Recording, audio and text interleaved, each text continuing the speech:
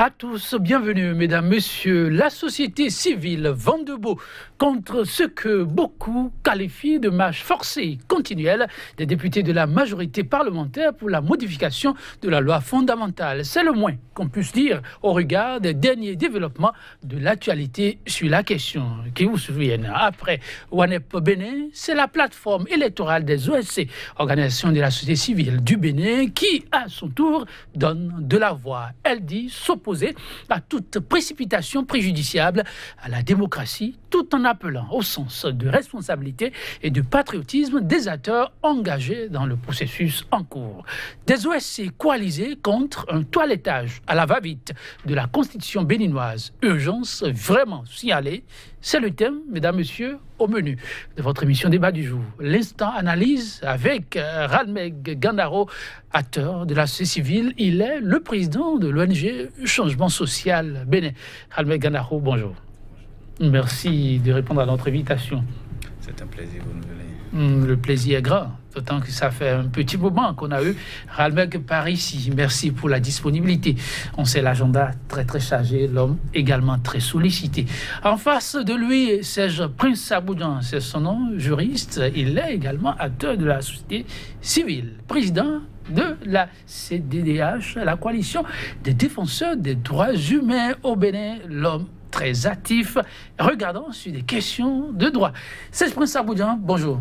Bonjour, cher ami. Bonjour, ami Ralmeg. Et bonjour téléspectateurs qui nous accompagnent. Euh, merci, merci vraiment pour la disponibilité initiée par huit députés du bloc de la majorité parlementaire. Le processus d'amendement de la Constitution en sa forme actuelle inquiète la plateforme électorale des organisations de la société civile. Sa position, elle a fait savoir à la faveur d'une conférence de presse. Une sortie que d'aucuns qualifient de trop quand on sait que bien avant, elle, il y a eu Wanep Benin qui également a donné de la voix à raison, nous avons sur ce plateau deux acteurs de la société civile. Que se passe-t-il? Les sorties récurrentes des acteurs politiques ne sont-elles pas suffisantes à quel rôle jouent-elles quand on sait, en tout cas, qu'en apparence, le Bénin se porte au meilleur de sa forme? C'est Prince Aboudia. Là, la question, je vous la pose directement. Beaucoup s'interrogent. Quand les acteurs de la société civile commencent pas à donner de la voix, franchement, souvent, c'est pour faire monter à ce qui paraît l'adrénaline. Il se passe quoi? Merci, merci pour cette invitation qui nous permettra d'échanger un peu sur cette euh, sortie de la plateforme des OSC en matière d'élection. Oui. Bien faire la part des choses. Et je comprends votre euh, question puisque vous avez dit dans votre introduction que apparemment il n'y a, a pas de crise. Vous avez bien utilisé cette nuance, Oui. ce qui me dit que vous-même, vous savez que quelque chose ne va pas. Parce que l'apparence est parfois trompeuse. Oui, euh, non, vous observez, il suffit de faire un point dans la population, vous verrez bien les craintes de la population. Ça se manifeste, ça s'exprime à travers euh, tout ce que nous observons, même au marché d'Antopate, ça s'exprime. Les gens sont inquiets. Inquiets dans le sens que, bon, on ne comprend plus. On ne comprend plus fondamentalement les objectifs qui sont fixés par ceux qui euh, ont la mission de représenter le peuple, puisque tout se fait à l'Assemblée nationale. Donc, je pense que euh, dans cet environnement, il était utile euh, d'avoir la sortie des organisations de la société civile. Mais je voudrais bien expliquer ceci qui me paraît important au, dé- au début. Allez-y. Vous voyez, la plateforme euh, des organisations de la société civile en charge des élections n'est pas à sa première sortie. J'ai j'ai constaté que, et ça c'est à leur actif, que tout ce que pendant, pendant, je dirais avant, pendant et après les élections, ils ont toujours fait des actions pour, ne serait-ce, éduquer la population. Je voudrais qu'on se replonge un peu dans le processus des élections présidentielles euh, qui, qui ont amené le président Talon au pouvoir. Vous allez vous rappeler que c'est l'une des rares fois où il y avait, je dirais, même une sortie hebdomadaire de, de la plateforme qui, au fur et à mesure de l'évolution du processus, sortait pour nous indiquer les pistes, les propositions, les difficultés, la sensibilisation. Ça a beaucoup joué dans le choix du, du, président actuel. Vous avez vu leur sortie lorsqu'on a voulu faire les élections euh, municipales. Donc, ils sont toujours euh, euh, ils sortent toujours lorsqu'il faut parler des élections. Et donc, il ne faut pas faire la confusion entre la sortie de la plateforme en charge des élections et la sortie des autres plateformes de la société civile qui existent. Moi, je voudrais bien qu'on dissocie. Ils sont dans leur rôle. Ce n'est pas la première fois qu'ils l'ont fait. Ils l'ont toujours fait, en tout cas ceux qui sont dans euh, la plateforme des, des OSC en ce qui concerne les élections. Et donc, je trouve que c'est normal. Maintenant, euh, si on aura à discuter, on verra bien euh, euh, tout ce qu'ils ont dit dans, dans, la, on, on tout À mais avant, dites à tous ceux-là qui disent oui, mais il y a eu beaucoup de voix déjà, de données par rapport au processus en cours et que de ce point de vue, la plateforme n'avait pas de sortie à faire en plus. Que répondez-vous? Vous voyez bien la méthode, ça a été décliné dans leur déclaration. ils ont fait un atelier où ils ont discuté sur les sujets regardez les autres déclarations, vous verrez bien que ce n'est pas la même méthode. C'est leur affaire. Les OSC en charge des élections, c'est leur affaire. Ils ont tout un système. N'oubliez pas que c'est encore la plateforme qui fait euh, ce que nous appelons le suivi des, des, des déclarations de campagne. N'oubliez pas, c'est eux qui évaluent. Jusqu'à aujourd'hui, c'est la toute première fois au Bénin où sur des années, on suit, entre, on suit réellement ce que fait le président par rapport à ce qu'il a dit à la population. C'est encore cette plateforme qui chaque année nous donne un rapport d'évaluation. Donc ce n'est pas des gens qui viennent seulement pour parler. Je crois que pour ça, je les loue et je les félicite, je les encourage parce que on ne dirait pas que pour cette sortie, ils avaient les OSC parce que c'est avaient les, les, partenaires. C'est ce qu'on leur reproche souvent. On dit que les organisations de la société civile ne font pas le travail lorsqu'il n'y a pas un, un, partenaire derrière. Voilà des gens qui ont pris leurs responsabilités depuis des années et qui travaillent avant, pendant et après les élections. C'est très, très important et moi, je, je voudrais vraiment personnellement les, les, féliciter pour continuer dans ce, dans ce climat où on semble diviser le pays en deux. C'est ça qui est triste dans ce pays. on, reviendra tout à l'heure. On veut toujours démontrer dans ce pays qu'il y a des gens qui sont pour et il y a des gens qui sont contre. Le pays n'est pas fait que pour des gens qui sont pour ou pour des gens qui sont contre. Il y a des gens qui veulent dire la vérité quel que soit ce que ça coûte, je crois que dans la déclaration, en tout cas ce que moi j'ai lu, ils sont dans la vérité. Ils sont dans la vérité, on y revient pour apprécier. Almel Ganaro, à l'occasion de cette sortie, on a pu, on a, oui, on a pu euh, nous rendre compte de la présence du président de l'ONG Changement Social Bénin, en la personne de vous-même, eh ben, on sait que vous êtes euh, à l'avant-garde de l'épanouissement collectif et on sait aussi que la démarche actuelle de ces députés, c'est pour arriver à ce but-là. Et ils ne comprennent surtout pas certaines prises de position qui, pour eux, n'a qu'un seul objectif, les démotiver et ensuite impacter, influencer la décision qui sera celle finalement du chef de l'État qui est très attendu euh, sur la voie empruntée. Ranbel Gandaro, euh, seriez-vous de ceux-là euh, qui jouent les troubles faits Merci Joël. Il y, a quoi de, drôle là? Bonjour cher aîné. effectivement, le chemin social Bénin était représenté à travers ma personne et beaucoup d'autres jeunes hier à la présentation de, ce, de cette déclaration. Et nous sommes aussi membres de la plateforme, ça c'est vrai.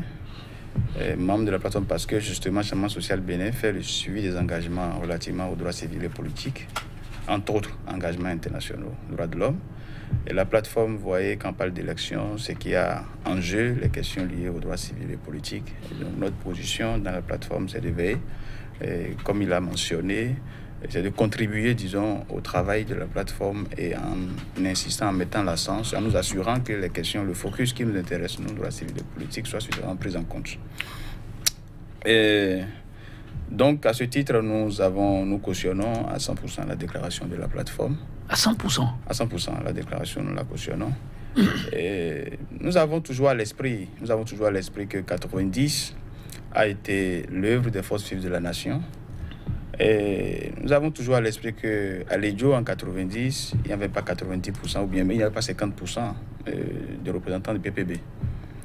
Euh, donc l'approche de la, logique, quand on dit force vive de la nation, euh, ça ne s'était pas en fait réduit aux membres ou bien aux dignités du PPB. bien au contraire, ils étaient minoritaires par rapport aux autres tendances. Et il y a eu vraiment un débat des forces vives de la nation. Donc la compréhension que nous avons des forces vives de la nation ne nous amène pas en fait à nous rabougrir ou bien à nous effacer devant le BNP. Nous avons à cœur, nous avons conscience de ce que l'héritage démocratique qui est en train d'être géré actuellement, ou bien qui est en train d'être à la limite saccagé, en ce moment, euh, est, un héritage collectif, un héritage pour lequel nous avons notre droit, nous avons une certaine obligation d'expression sur de notre opinion. Donc, euh, chacun va cautionner ce qui adviendra de bien comme de mal, parce qu'il s'agit en fait d'une synergie d'action des forces de la nation. Et il faut toute que, connaissance de, cause que vous y étiez. Voilà, et il faut que de façon pédagogique, et, comme il a démontré, nous fassions comprendre que en tant que force vive de la nation, même si la gouvernance depuis deux ans ne semble pas nous reconnaître cette, cette, cette, cette position, en tant que force vive de la nation, nous avons l'obligation de nous, de nous exprimer sur ces questions-là. Je pense qu'avec le temps et avec la pédagogie, et peut-être ceux qui commencent de plus en plus par assimiler le BNP aux forces vives de la nation vont comprendre en fait que c'est suffisamment dangereux que de traiter des questions nationales de cette façon. Ah oui, c'est Prince Aboudjan, s'il y a une question qui est vraiment revenue avec euh, cette sortie de la société civile, c'est celle euh, de l'inclusion, mais perçue comme une exclusion. Pour faire clair, euh, les acteurs de la société civile ont martelé plus d'une fois que le choix et les options qui sont en cours de connaître un aboutissement doivent être inclusives, mais ce qu'ils observent, c'est plutôt, plutôt de l'exclusion. Or, il s'agit de la majorité parlementaire qui a pris l'option. Euh, après, disent-ils, discussion avec la minorité, même si aujourd'hui la minorité dit non, n'avoir pas été véritablement associée. Est-ce que cela n'est pas suffisant pour comprendre la démarche qui se fait actuellement? Merci. Je voudrais, pour préciser ce que j'ai dit euh, à l'entame de, de, mon intervention, euh, présenter une déclaration de la plateforme hum, déclaration liminaire, un extrait de déclaration liminaire de la présidente euh, Madame Fatoumata Batokozosu. C'était le 30 juin 2015.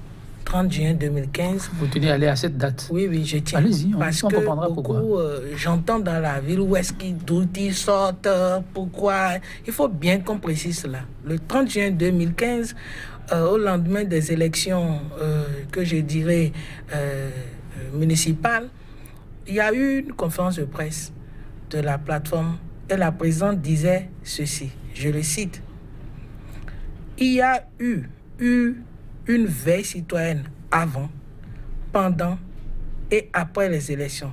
C'était pour travailler à avoir des élections apaisées au Bénin et que la Chambre électorale de mobilisation a mené des activités préélectorales.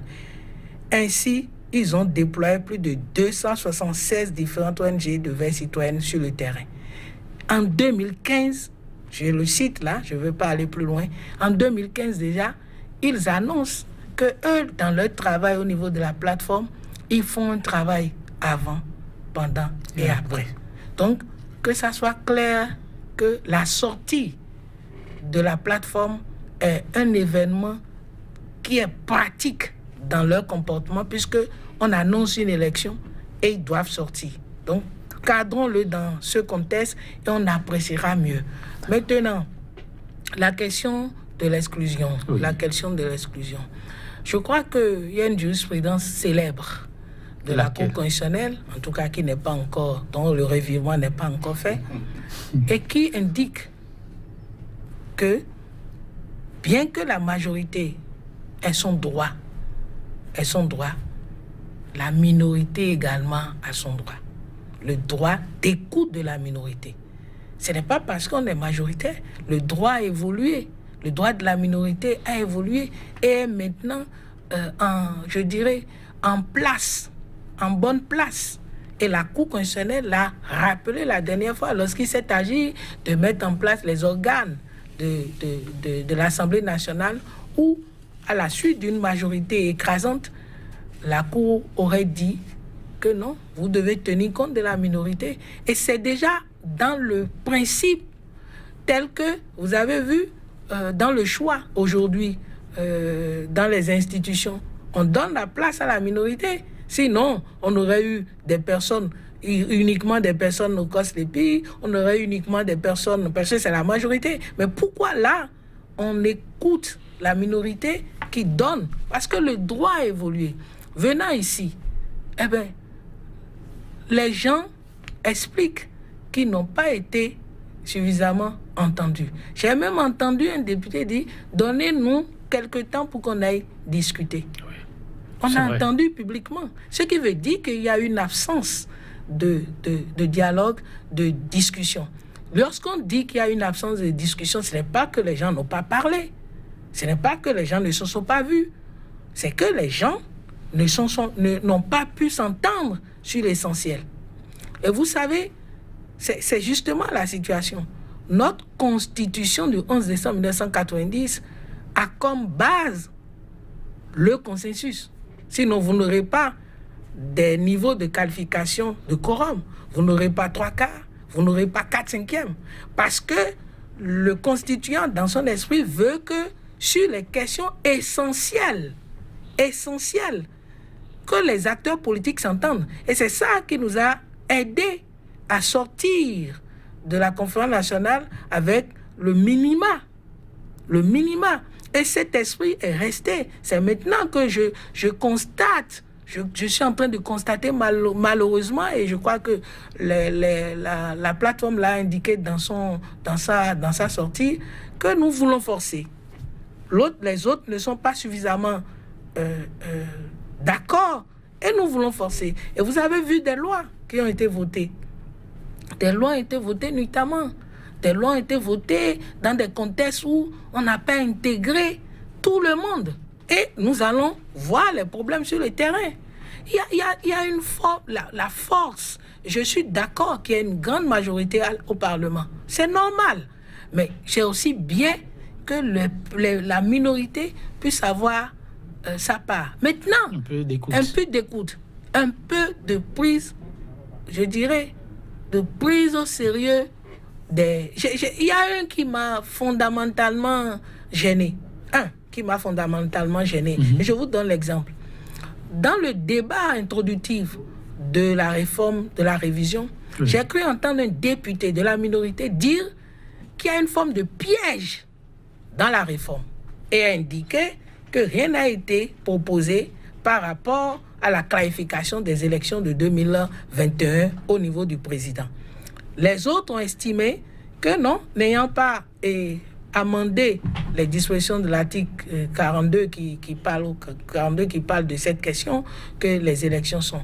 Mais lui continue d'affirmer qu'il y a un flou. Et lorsqu'il y a un flou, on donne la possibilité au juge constitutionnel de pouvoir apprécier. Et personne ne peut imaginer la position du juge constitutionnel. Le juge constitutionnel est sans recours.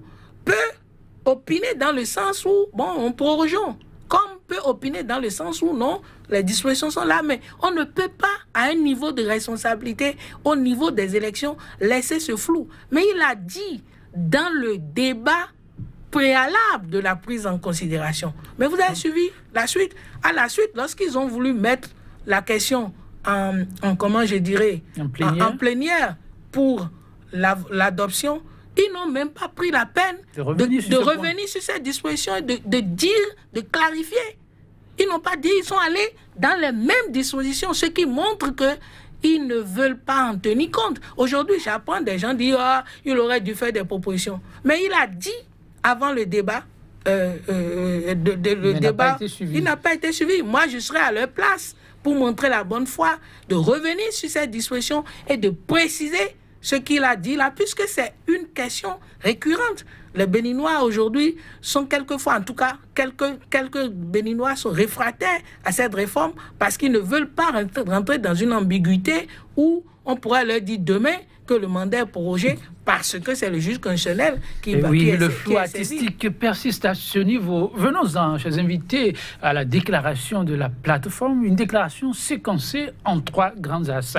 Hadmek Gandaro, j'aimerais commencer avec vous, parlant de ces trois grands as, euh, lequel euh, paraît. Non, tous sont importants, autrement on n'allait pas les évoquer. Commençons par le grand axe. Quand on le prend, Qu'est-ce qui paraît prioritaire pour vous comme point majeur à partager avec nos téléspectateurs Bon, j'avoue que là, je ne suis pas porte-parole de, oh non, mais c'est pour apprécier la portée. Mais je peux quand même euh, risquer l'exercice euh, juste euh, pour dire ce que par rapport à la contribution du social bénin et par rapport à notre compréhension du contenu que nous cautionnons à 100%, ou bien, nous commençons comme ça par un pan de la déclaration de la présidente euh, qui, qui, dit, je, vous lis, la plateforme électorale des organisations de la société civile du Bénin se dissocie. Ça, ça, ce qu'on peut appeler comme mise au point, hein, se dissocie entièrement de la proposition d'amendement de la Constitution engagée par voie parlementaire. Un bout de phrase qui, après, a renvoyé à la démarche de référendum qui est en train de s'ouvrir actuellement. Alors, on y est, on commence par le dernier point ou bien par le point qui est primordialement affiché. Non, la plateforme se dissocie. Euh, mais comme elle l'a mentionné, en fait, on était en atelier le, 9 juillet dernier. Et au cours de l'atelier, il y a eu suffisamment euh, d'échanges sur euh, les quatre points objets d'amendement. Et, et donc, ce qu'elle a lu, en fait, ce qu'elle a lu, en fait, c'est. Ce n'est qu'un condensé. Il y a un document de contribution. Il y a un document qui soutient sa déclaration. Parce que point par point, des arguments ont été développés, les réserves, les propositions, les suggestions. Et je crois que, conformément à la démarche de la plateforme, ce document à, à, souhait vous sera communiqué pour que vous ayez les détails, en fait, sur nos réserves, Point par point. Alors, euh, l'unanimité pour ce qu'on a constaté est faite autour de la démarche du référendum. Parce que quand un test échoue, comme ça a échoué, là, c'est la seule voie apparente qui, qui s'offre à tous. Mais on a entendu dire que là-dessus, si on doit introduire un test modificatif, il faudra le faire dans les règles de la Union, ce qui pour vous paraît aussi très importante. à, quoi jouez-vous en, allant dans ce sens-là? Le risque de ces exercices avec vous, journalistes, c'est que vous amenez en fait à ramasser beaucoup de choses euh, importantes. Et, là, non, non, allez-y, vous avez votre. Vous avez le Que vous voyez, là, par exemple, tout de suite, vous, non seulement vous dites ça nous amène au référendum, après, vous dites euh, et la motivation de la relation. Mais déjà, est-ce que oui. la démarche initiale des parlementaires était euh, orientée sur le référendum? Ah. Est-ce que les parlementaires, à la plénière, où on nous a dit maintenant, bon, ça a commencé le débat sur le est-ce qu'ils allaient vraiment appeler le jour-là pour. et s'attendaient à un vote qui aboutirait au référendum? Encore que dans le bloc de constitutionnalité, vous avez, vous avez en fait la loi référendaire, la constitution, beaucoup d'autres outils qui vous font comprendre, quand vous faites une lecture croisée de ces outils-là, en fait, que quand vous voulez aller au référendum et vous allez une proposition, vous avez en plénière avec ça, que vous avez c'est suffisamment clair qu'on veut aller au référendum. Si vous choisissez la voie législative aussi, on sait comment vous venez. C'est-à-dire quand vous, quand vous mettez euh, dans la matrice tous les outils du bureau de constitutionnalité, vous comprenez clairement que la démarche des parlementaires, c'était une démarche législative qui a échoué. Point. C'est la lecture que le profane de la constitutionnelle que je suis fait. Les spécialistes sont là, ils vont, ils vont approfondir. Dans le même temps, on enclenche, bon, on, on, fait un bricolage, disons, procédural, et puis on fonce, on dit, bon, on va, il y a un référendum, c'est un succès, voilà, on va au référendum. Le référendum, d'accord. Le référendum, c'est une élection, comme l'a mentionné la présidente hier qui a fait la déclaration. Le référendum, c'est une élection. Et encore une fois, nous sommes, je vous dit tout à l'heure que nous, nous sommes dans la plateforme par rapport aux engagements du Bénin pour les questions de droits civils et politiques. Entre autres engagements, il y a le protocole de la CDAO. Voyez-vous, et le référendum étant une élection, vous ne pouvez pas prévoir un référendum dans ces conditions-là où on sait que par rapport, au processus législatif en cours et, et oui, oui, des élections législatives pour 2019, vous ne pouvez pas tenir le référendum et dans, tout en faisant modification, à moins de six mois avant et après maintenant, avoir une, nouvelle loi électorale pour les élections de, avril de mars 2019. Bref, ce n'est pas possible. Le Bénin est citoyen de la CDAO. Le Bénin est citoyen de l'Union africaine. Le Bénin est citoyen des Nations unies. On ne peut pas quand même choisir l'incivisme communautaire. On ne peut pas choisir l'incivisme régional. Je, je, doute, je, je doute que le juriste soit d'accord C'est-à-dire, ce que je viens d'expliquer, c'est oui. que nous sommes allés délibérément nous-mêmes dire, nous adhérons à ces valeurs et principes. Et le Bénin s'est engagé. C'est pour ça que je dis en fait que vous avez mélangé tout rapidement. À la limite, c'est que j'allais m'embarquer comme ça. Parce que moi, je continue de croire en fait que tous ce, tout les débats sur le référendum, peut-être c'est WhatsApp et Facebook qui ont conduit pratiquement les gens. Sinon que pour moi, quand je fais le point, le profane que je suis comprend que les gens ont tenté un coup qui a échoué. Et d'ailleurs, quand vous rentrez dans le fond maintenant, des points d'amendement, vous comprenez clairement que il y a des questions. On va revenir sur, sur ce point d'amendement parce que, Ramek, vous avez sorti un mot très fort. J'imagine que les députés dans le siège ne sont pas d'accord avec vous. Est-ce qu'il y a un civisme là dans, dans, le comportement, la démarche des élus du peuple? Ce sont eux qui pondent les tests. Ce sont eux qui ont amené. Un civisme communautaire. Oui. Un civisme communautaire, oui. En plus, très fort. Ce sont eux qui ont amené, qui ont pensé à un moment donné que d'ailleurs c'était très bon pour le Bénin de souscrire à cela. Aujourd'hui, toute réflexion faite, en lisant les tests, ils ont cru comprendre que c'est encore faisable. Lorsque euh, l'ami Almeg a a parlé d'un civisme communautaire, vous avez semblé trouver que c'est gros, c'est ça? Ah, En tout cas, euh, je m'interroge. Ah, Et j'imagine qu'ils sont nombreux à s'interroger. On a commencé d'abord par l'incivisme national. C'est euh, pas moi qui le dis. J'ai une décision de la Cour constitutionnelle qui a dit que sur les 82 députés que nous avons, il y a 81 qui ont décidé de foutre en l'air la Constitution. C'est vrai. Vous vous rappelez, non? C'est vrai. Pourquoi vous voulez vous inquiéter pour ça? Oui, ben, euh, ce qu'on sait, c'est que on peut, faire, on peut faire, non, on peut faire l'indiscipliné chez soi, mais non, pas non, au, au non, dehors. Ça voudrait, non, lorsque nous parlons d'indiscipliné au niveau d'une institution, qu'est-ce quelle leçon nous donnons à la population? C'est ça. Ah, c'est déjà grave à ce niveau. Ah bon, c'est suffisamment grave que nous ayons des décisions de condamnation du, de l'Assemblée nationale qui violent nos tests. Moi, je pense que c'est déjà suffisamment grave et ça devrait déjà nous amener à réfléchir. Maintenant, on en a eu d'autres. On en a eu d'autres. C'est pas. J'ai donné cet exemple pour dire que si on parle d'incivisme, ce n'est pas insultant. C'est dans l'adhésion de la Cour constitutionnelle, sans recours et qui est dans le monde entier. Donc, on, se, on est d'accord là-dessus. Maintenant, revenons à, à, à l'environnement. J'ai été très heureux de voir dans la déclaration, le premier niveau de déclaration, une clarification. Laquelle? Vraiment une clarification qui m'a soulagé, fondamentalement soulagé. Partagez-la avec Parce nous? que lorsque la plateforme des OSC, maintenant la Cour des comptes est sortie, très tôt on a, on a, on a annoncé que voilà, ils sont, des, ils sont du pouvoir et que c'est eux qui veulent l'amener à la révision et que, et que, et que. Moi, euh, n'étant même pas membre de, de maintenant la Cour des comptes, moi je faisais mon plaidoyer en solitaire pour qu'il y ait une Cour des comptes. J'ai fait des, des articles là-dessus parce que j'estime personnellement qu'il y ait une Cour des comptes, mais chez moi, une Cour des comptes indépendante. C'est bien clair, indépendante. Et je crois que c'est ça justement aussi chez eh, nos amis maintenant la Cour des comptes. Mais très tôt, il y a eu cette confusion. Cette confusion justement de dire que voilà, vous avez soutenu l'affaire et puis maintenant vous vous faites reculant. Ils l'ont précisé pour dire d'abord la plateforme euh, électorale des OSC complètement différente de la plateforme euh, dénommée maintenant la Cour des comptes. C'est clair, ils l'ont dit.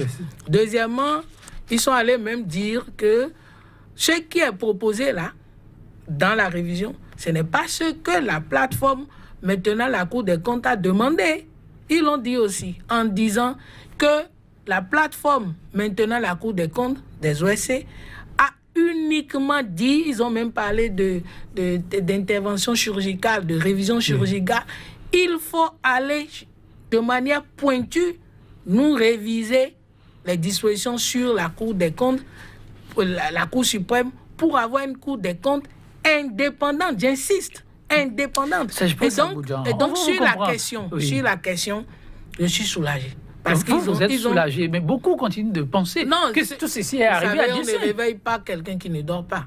Moi, j'explique.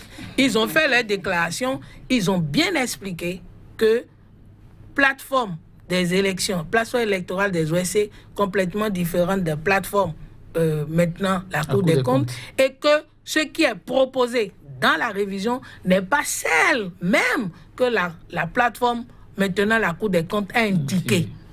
C'est clair. Pour moi, il n'y a plus de débat. Maintenant, ceux qui veulent faire des débats, ils sont libres de le faire. Mais ceux qui sont, excusez-moi le thème, lisent, comprennent les contextes, ils comprendront. Parce que vous savez qu'au Bénin, ici, il y a des gens qui voient le vert et qui disent que c'est le rouge. Vous pouvez tout dire. Ils, ils ne voient que le rouge. Et je les accepte comme ça, puisque c'est l'expression. C'est la disposition mm. actuelle euh, qui pose aujourd'hui problème. C'est une, une discipline régionale, communautaire qui est manifeste. Et, mais à laquelle tient les députés qui ont introduit ce test en faisant cette sortie, est-ce pour amener à rebeloter ou euh, conduire à quelle issue? Dans un environnement comme ça D'abord, ils n'ont pas encore fait. Moi, je, je pense qu'ils n'ont pas encore fait. Il y a des... Il faut continuer de penser. Oui, oui, ils n'ont pas encore fait, puisque euh, c'est pas possible. Bon, ça dit que je, je, je, suis complètement à l'aise pour dire, mais euh, vous voyez, on vient d'avoir une décision de la Cour de la CDAO sur le, le Sénégal. Oui. Vous avez vu qui a fait beaucoup de bruit. Qui continue de faire du bruit. de toutes les façons, la Cour a dit. Et si, malheureusement, on, passe outre le protocole sur la démocratie et la bonne gouvernance additionnelle, là, si on passe ça, euh, la Cour va nous, va nous dire aussi ça. Je suis convaincu que moi, je suis complètement à l'aise. J'attends qu'ils révisent leur loi référendaire. J'attends que la Cour constitutionnelle dise que c'est normal j'attends la beauté de la décision de la, de la CDAO. Pourquoi? Je le dis parce que euh, n'y a aucune ambiguïté par rapport à la loi référendaire, loi électorale. Il n'y a aucune ambiguïté. Si vous lisez la loi référendaire, vous verrez qu'à l'article 2 de cette loi, on parle du suffrage. On parle de, euh, de la majorité des suffrages valablement exprimés. Ce qui veut dire que les gens vont aux élections. Si vous continuez la lecture de votre loi, vous verrez qu'on parle de convocation du corps électoral, élection. On parle de scrutin, élection. On parle de décision euh, de la Cour proclamant les résultats, élection. On parle de contentieux électoral, élection. Donc, la loi électorale concernant le référendum est une loi qu'on ne peut pas modifier avant les six mois. C'est-à-dire qu'on ne peut pas modifier dans les six mois des élections. Vous ne pouvez pas, à moins que le référendum se fasse six mois après. Vous comprenez? Bon, si c'est pour un référendum de six mois après, ça dit six mois après, je n'aurais même pas su pourquoi on veut réduire les délais. Donc, pour moi, il n'y a pas de débat. Si des gens veulent réviser, qu'ils révisent.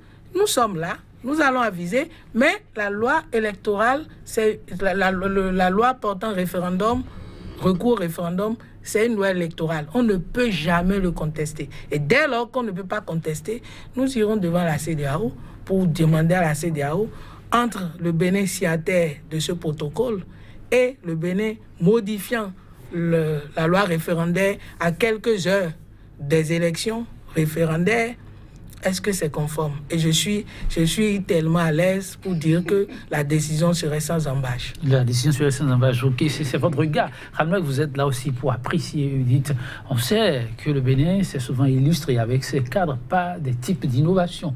Et vraisemblablement, quand on suit ceux qui sont dans le démarche, il s'agit aussi là d'innover. Peut-être au Bénin de gagner beaucoup de points et aussi bien moralement, matériellement que financièrement est-ce qu'on ne peut pas forcer un peu la porte je, ne résiste pas. Je ne résiste pas à l'humour de Joël ce matin. Oh non, mais moi, je ne fais pas de l'humour, c'est vous qui voyez de l'humour. Parce que, en fait, euh, juillet 2017, j'étais avec euh, des universités européens qui célébraient en fait euh, l'article 147 de notre Constitution. Ah, ça, c'est vrai. J'étais fier d'être béninois. Il faut rappeler des choses. Ça, c'est vrai. Peu d'États, peu d'États ont, ont prévu ce grand portail aux engagements internationaux dans leurs lois fondamentales. Et j'étais très fier. Là, là, j'ai la chair de poule parce que je me rappelle du contexte, de l'ambiance, euh, l'ambiance dans laquelle on célèbre mon pays. Là, vous avez la chair de poule, vous dites. Oui, mais, parce que. Mais ce qui a été fait, on se rappelle qu'il y a eu euh, un certain maître Adrien Ombridi qui était entre-temps, oui, tête pensante. On a eu un certain Idi Kolaole qui est encore toujours là, président de l'Assemblée. Non, on n'a pas eu ces tests sans de grands hommes, de grands noms qui sont encore là. On a aujourd'hui encore à l'Assemblée nationale, Mathurin Kofinago, non, non, Bruno Non, non, non, l'article 147, la Constitution dont je parle, eh, non, non, on l'a eu grâce à un grand nom, euh, oui. Maurice Qu'on ne cite pas surtout, qu'ils ont respecté jusqu'à présent. Jusqu'à aujourd'hui, jusqu'à aujourd'hui célébré à Genève. Vous savez, beaucoup de personnes sont dans ce pays et sont des kidam quand ils, quand ils vont dans des pays, quand ils vont à la capitale de l'homme. Voyez-vous, mais Aranzo est connu pour ce qu'il est. Et c'est à dessein que notre Constitution a des dispositions comme l'article 40 de la Constitution, comme l'article 147, comme l'article 68, in fine, par rapport euh, euh, euh, à l'impossibilité de suspendre les droits fondamentaux, même dans des circonstances exceptionnelles. C'est-à-dire que c'est des choses qui, qui montrent que non, Aran est à célébrer à vitam aeternam. Voyez-vous. Mais quand vous citez tout comme ça, là, vous faites une confusion de genre et de, et de profil. Voilà. Mais vous savez, 147 de la Constitution, j'ai l'impression que les élites n'ont pas suffisamment compris ce que ça veut dire. Ce grand portail qui est ouvert ce que ça peut éviter, ils n'ont pas intégré ça à ce jour. Et c'est symboliquement dangereux que le Bénin, abritant même une chaire UNESCO des droits de la personne et de la démocratie, ce pas tous les pays francophones qui abritent une telle chaire. Où nous avons l'opportunité de voir tourner dans notre pays régulièrement, et, disons, cette, cette crème, hein, cette intelligentsia de la sous-région hein, et de, la région francophone, hein, Afrique. C'est je suis, c'est symboliquement dangereux que de voir cette méprise. Cette méprise, c'est-à-dire du basique en droit international des droits de l'homme. C'est symboliquement dangereux. Je rentrais doucement en fait dans le contenu des amendements, des points d'amendement. Je ne comprends pas qu'en démocratie représentative. C'est pour ça que je dis, ceux qui ont lancé le processus, certainement, étaient sûrs de la démarche législative. Et à leur décharge, je pense qu'ils ne pensaient pas à la démarche référendaire. Et c'est pour ça que j'estime que l'ambiance, il y, a eu un moment d'inattention qui les a embarqués dans cette aventure ponctuée d'incohérence. Quand vous demandez à ceux parce qui... Que, parce que je, je, je, le copie, carrément. Là, moi, je ne suis pas expert, je ne suis pas agrégé, je ne suis pas docteur. C'est le profane qui parle, mais avec, euh, c'est-à-dire des notions basiques de droit de l'homme. Je ne comprends pas qu'avec ce grand portail ouvert à l'article 147 de la Constitution, et qu'avec l'option d'une démocratie représentative, avec le processus de domestication achevé ou quasiment achevé par rapport à la peine de mort, par rapport à la promotion de la femme, tout ça, ainsi de suite, qu'on nous dise qu'il y a possibilité d'aller interroger, questionner les Béninois dans le cadre d'un référendum sur ces questions. Je pourrais étendre ça toujours par rapport à la Cour des comptes relativement à lui et moi, tout ça, ainsi de suite. Je pense que, s'il vous plaît, c'est symboliquement dangereux. On ne joue pas à tout. On ne joue pas à tout. C'est dit, je ne rentre pas dans les détails d'échange. Non, quand, quand parce qu'on a peu de temps. On, a, peu de temps sur ce plateau pour aller dans les détails. Mais je vous ai, je suis allé loin dans. Non, vous avez bien, dans ma nostalgie, résumé. Ça, Mon état d'âme. Vous savez, j'ai mal. C'est symboliquement dangereux. Euh, Serge Prince Aboudjan, le débat qui se mène actuellement, est-ce qu'on peut dire que c'est simplement un débat malsain qu'il vaut mieux euh, ranger ça au placard et penser à autre chose si on peut vraiment ranger. C'est là où nous sommes. Je me demande si on peut. Parce qu'en cherche, en rangeant, nous créons encore un autre problème de droit. Oui, je suis, je suis mal à l'aise, quoi. Je suis complètement mal à l'aise. Vous savez pourquoi? Non. Il n'est pas indiqué dans notre loi fondamentale que le président peut avoir un choix en matière d'exercice des dispositions liées au référendum. Le président n'avait pas de choix. Parce que si le président avait un choix, ça voudrait dire que les députés peuvent, engager une révision. 54, 155. Et que ce soit des, des députés qui ne soient pas de son groupe, mais qui veulent que l'État se prononce, en tout cas que la population se prononce sur un sujet. Si on donne cette liberté au président de la République de choisir entre faire ou ne pas faire, dans ce cas, il va s'opposer. Il va s'opposer au référendum parce qu'il sait que si ça va au référendum, peut-être que lui l'aurait perdu parce que c'est ses partisans qui ont été battus là-bas. Donc le système ne permet pas, tel que c'est fait, au président de la République d'apprécier. Voilà que nous sommes dans une situation où il est obligé, obligé d'apprécier. Moi, je, suis complètement mal à l'aise. C'est pour ça que je vous dis que je suis mal à l'aise parce que s'il le fait, s'il apprécie aujourd'hui, ça crée un précédent, un précédent dans l'ordonnancement juridique, et constitutionnel du pays. Parce qu'il peut lui arriver que il décide de ne pas envoyer une question au référendum, ce qui n'est pas vrai par l'article 154, 155. Lorsque la vote, l'adoption n'est pas acquise au 4 5e, on va au référendum. C'est ce que l'article 155 a dit. L'article 155 n'a pas, dit, n'a pas dit que le président a la possibilité. Vous verrez que au niveau de l'article 58, lui, il a là, il peut, il peut faire le référendum. Lui, il peut. Et les questions qu'on lui propose, c'est trois. Intégrité régionale, organisation de la société. C'est prévu qu'il peut. Et là, dans la loi référendaire, on ajoute à l'article 11, à l'article 4, la possibilité pour lui d'utiliser le 158, mais la possibilité aussi pour utiliser le 154, 155 à travers le vote. Et donc le président, normalement, n'a pas un choix à faire. Vous verrez que dans la référendaire, il est même indiqué, il est même indiqué que s'il n'y avait pas la possibilité de le faire, parce que on n'est plus dans la première session, parce que le dépôt doit être envoyé dans la première session. Ce n'est pas un hasard que le, le l'a mis. L'a mis parce que la première session, c'est dans le premier trimestre de l'année.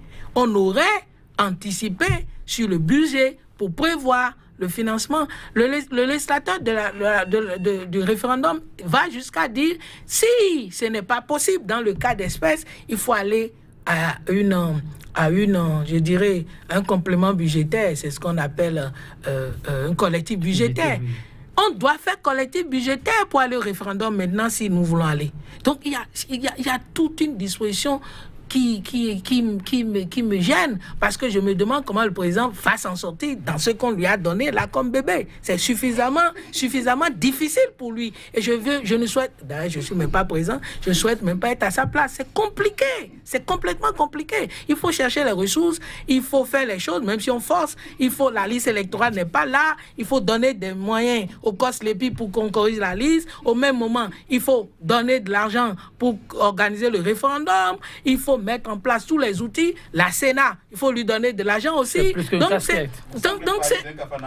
Non, je suis complètement embêté. C'est pour ça qu'au départ, moi j'ai eu la chance de le dire sur un plateau. Je disais à mon interlocuteur que je respecte, qui était un professeur qui a été président de la Cour suprême du Bénin et même de la région, je lui disais, mais est-ce qu'on a analysé toute la procédure qu'on veut engager, mais il s'est marré de moi, il, il a dit que c'est de l'école, ça, que c'est les juristes d'école.